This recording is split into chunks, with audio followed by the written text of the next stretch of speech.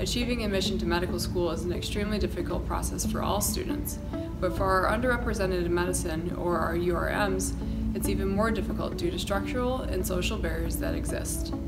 Justin Fox, a current fourth year medical student at VCOM Carolinas, faced these exact barriers himself,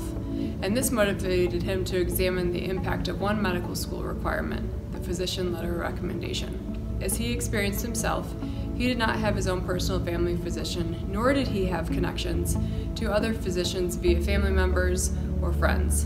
and this made finding a letter of recommendation from one increasingly difficult. This story is not uncommon to many other URM applicants, and as the result of this study indicate, may be one factor contributing to the low numbers of URMs, particularly black students in osteopathic medical schools.